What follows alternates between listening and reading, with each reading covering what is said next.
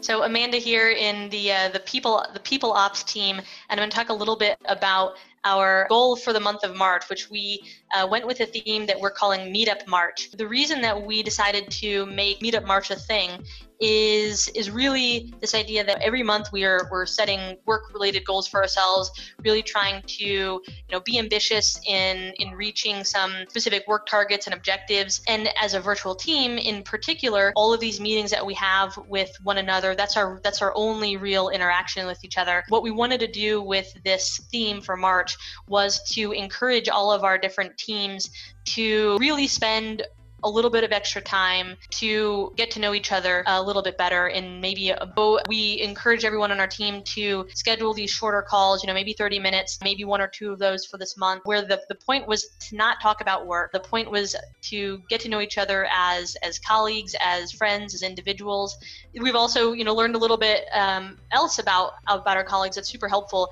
Uh, you know for example, our, one of our um, executives wanted to be a game warden when he grew up, which was one of the more interesting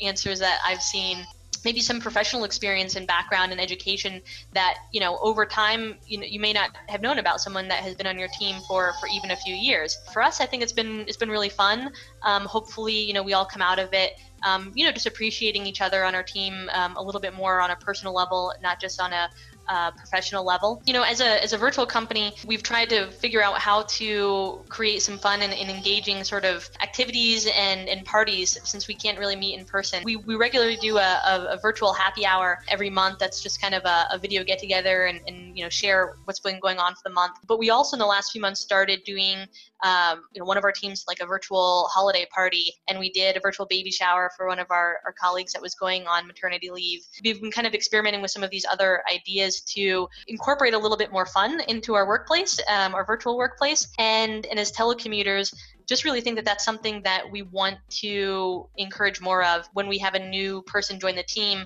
You know, we like to introduce them on Slack, but it's been really nice to, to get to know someone um, a little bit more, a personal level more so than what we had been doing even in, in 2017. So for 2018 so far, we've been trying to really ramp up those sort of get to know you type events.